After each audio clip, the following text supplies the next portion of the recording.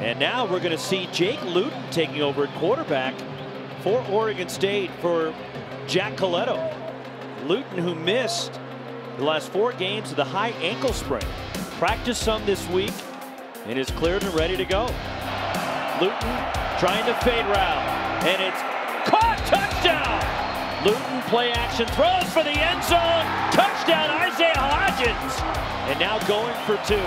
Play action for Luton, throwing for Hodgins, and it's caught. The two-point conversion, and it's a three-point game at Folsom Field. Pressure coming. Luton for the end zone. Touchdown, Oregon State. The 13-game conference losing streak is over as the Beavers get into the win column with a comeback for the ages. What will you remember about this moment when you guys came out and shocked everybody? Just my teammates battled, you know.